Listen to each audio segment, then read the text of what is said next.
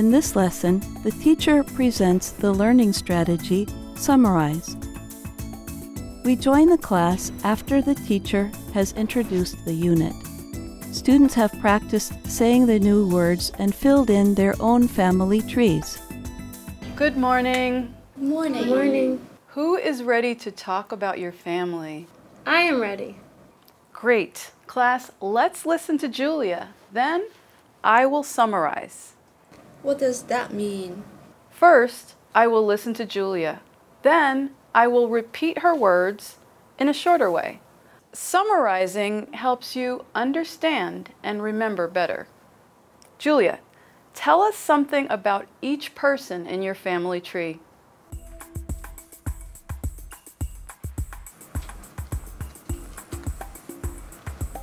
There are three women in my house my mother, Leah, my sister, Stella, and me, Julia. My sister is pregnant. She also has a son, Eric. I am his aunt. My mother is his grandmother. Thank you. Okay, now to summarize. Modeling the strategy. Afterwards, the teacher models the strategy, Summarize, by giving a summary of the student's description. She explains that summarizing helps in learning English. You have three women in your house. Your sister is pregnant and she has a son. You are an aunt. Your mother is a grandmother.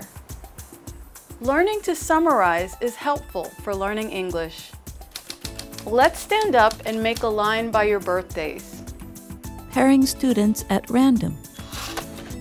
The teacher uses a technique to randomly assign partners. Students must talk with each other to line up in order.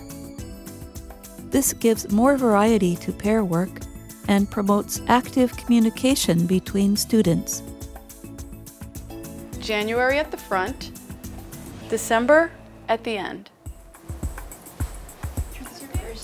February? And January. January. February. May. December. Okay, now bring the line around. The person across from you is your partner. This group, tell about your families. This group, listen and take notes. Please have a seat. Partners, listen carefully. I'll ask you to summarize for your partner. Take notes on your paper. Raise your hand when you're finished. My brother is Wahab. Wahab is your brother. Father Peter. Mother Yvonne. Okay, I think we're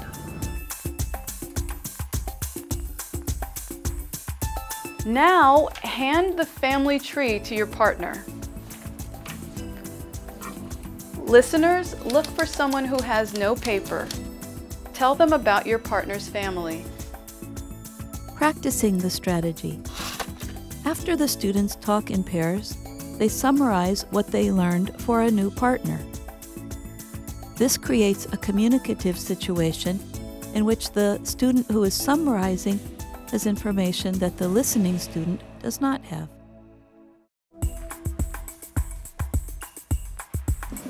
This is Miriam's family. She has a dad and a mom, and then she has a brother, Hub, and then her sister, Bahar. How old is she? She's six years older. This is Jamie. And she has two. And her brother. Summary. This activity gives each student time to work actively with two other students while practicing summarizing. Next time, join us for Unit 2. We will teach listening skills and cooperative learning.